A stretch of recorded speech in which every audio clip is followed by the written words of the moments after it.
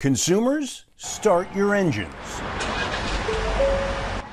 Auto aficionados are rolling into Chicago's McCormick Place Convention Center for the first time since the pandemic put the brakes on car shows.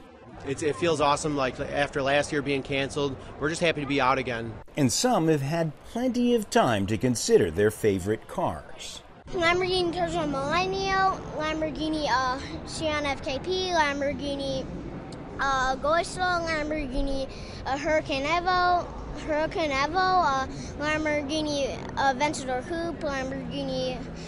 Uh, wait, my favorite car? Oh, a station wagon.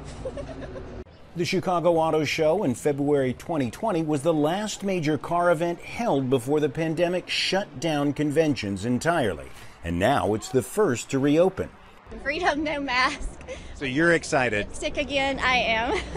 It's shorter in duration, smaller in size, and later in the year than usual. But the first major auto show in the U.S. is here, to be followed by shows across the country. For the show's host, it couldn't come soon enough.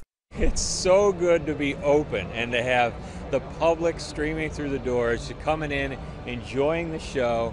I mean, we're, we're on a rainy Thursday morning, an hour earlier than we usually open, but they're still here. So we're thrilled, thrilled to be open.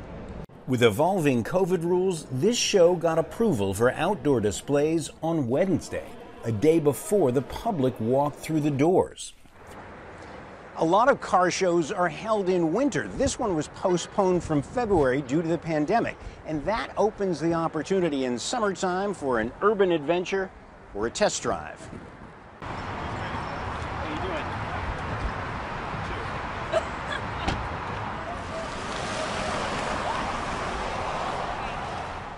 The restart of annual car shows is fueling an economic revival. McCormick Place has had 230 events canceled since March 2020, a loss of $3.1 billion in economic impact.